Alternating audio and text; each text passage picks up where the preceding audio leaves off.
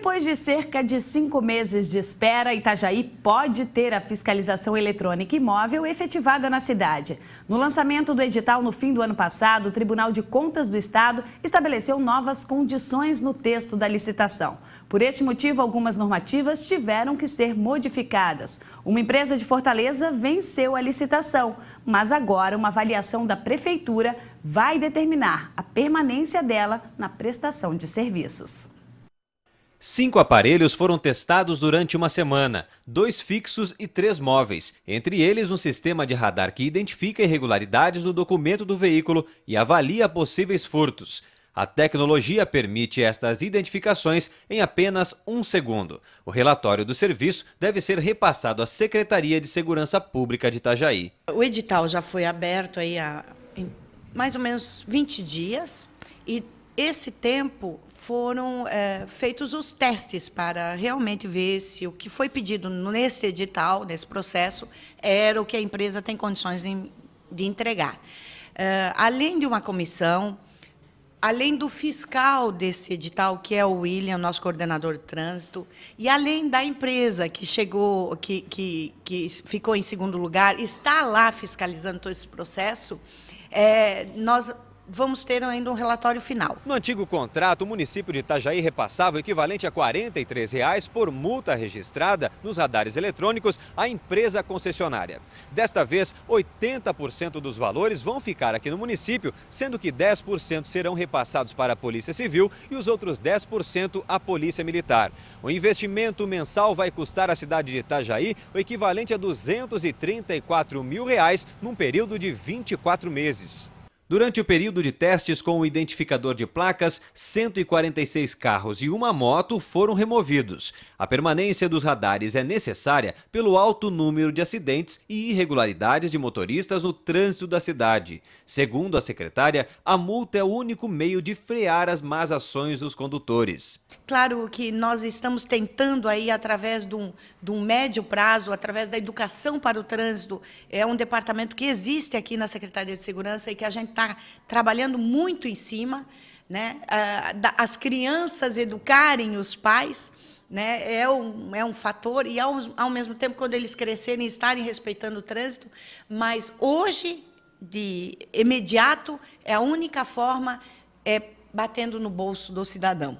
O edital prevê a concessão de oito radares fixos, 20 radares móveis, 51 radares que fiscalizam excessos de velocidade e um equipamento identificador das placas dos automóveis. O prazo para a utilização e instalação oficial dos aparelhos ainda não é divulgado pela Codetran.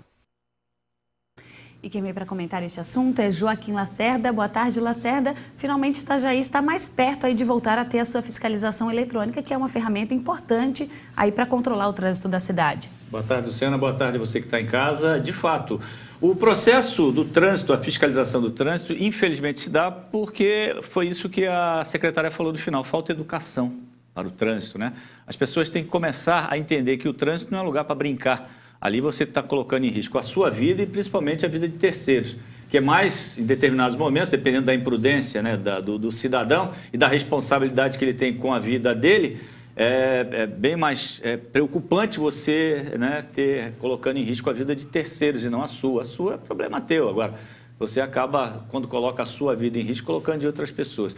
Itajaí já demorou, né? o processo licitatório demorou bastante, em função de, do Ministério Público e agora parece que a coisa vai voltar ao normal. Infelizmente, só tem duas formas de você sentir quando você é imprudente. Uma é no coração e aí você vai ter que se readaptar e entra a educação neste caso para você se conscientizar do que é certo e do que é errado. E a outra forma é no bolso. Né? Tem gente que costuma sentir mais o bolso do que o coração. E nesse caso, os radares estão aí para isso, para punir o mau condutor, o bom condutor, aquela pessoa que anda dentro eh, do, do, trânsito, respeitando as leis, as normas do trânsito, as velocidades que são permitidas, ele nem se preocupa se tem radar, se tem, se não tem, se o radar é móvel, fixo, não interessa. Ele faz aquilo que a lei determina. Esse não está preocupado. Eventualmente, né, pode acontecer uma, um, algum problema, mas esse condutor, de fato, ele não está preocupado com isso, muito pelo contrário.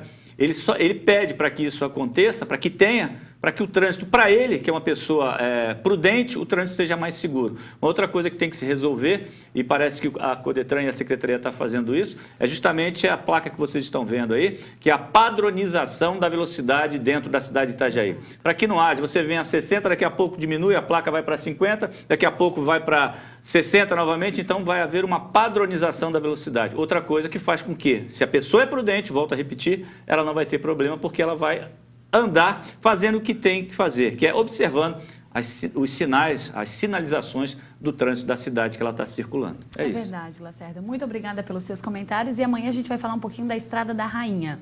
Outra encrenca. Outra Vou encrenca. falar amanhã. Um abraço, um abraço você de casa. Até amanhã. E você vai ver no próximo bloco um pouco da história e da trajetória da cantora de fados de Itajaí, Célia Pedro. O MCA Notícias vai para mais um rápido intervalo e já volta.